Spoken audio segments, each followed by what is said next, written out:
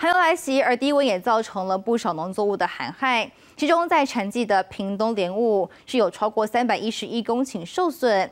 而种植土凤梨的花莲瑞穗乡复兴村是出现了凤梨花冻伤的情况。但这几波寒流呢，也是有农作物受惠的，像云林的茂谷柑，整体甜度拉升，品质比往年还要好。来到茂谷柑园，虽然天气冷飕飕，不过云林斗六农民却开心忙着抢收。当地果农表示，近期几波寒流来袭，茂谷柑却因为低温受惠，果实转色更漂亮，甜度也提升。的物件是愈寒愈寒伊会愈红啊，嗯，啊那愈热伊就是。色度行较慢啊，较红是安怎？卖相较好，还是卖相较好？啊，伊的甜度也较有。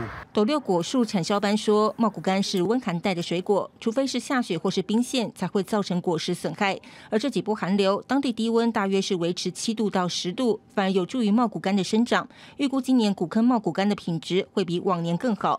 不过，相较于茂谷柑，大部分的农作物却敌不过寒流的侵袭，陆续出现寒害。像是花莲瑞穗乡复兴村种植的土凤梨，叶脉已经干枯，凤梨花出现冻伤。差不多十一度以下就会掉的。啊，即几天的天气安怎？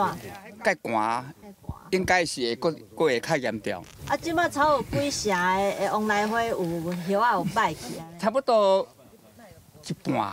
凤梨花是过年民众喜欢购买的商品，但是叶脉冻伤根本无法贩售。农改场前往探勘之后，统计受灾面积已经达到了四十五公顷，而农民一公顷的成本要二十多万。现在更担心天气好转之后，受冻的凤梨花会持续溃烂。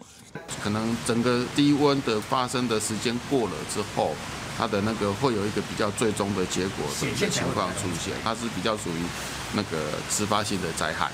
同样受灾严重的还有正值产季的屏东莲雾，遇到气温骤降，隔日又出太阳，忽冷忽热的天气，导致莲雾出现落果和裂果，受灾的面积超过三百一十公顷，损失将近七千万。不过未来几天，迟发性落果还会陆续显现，届时灾情可能会再扩大。记者宋报道。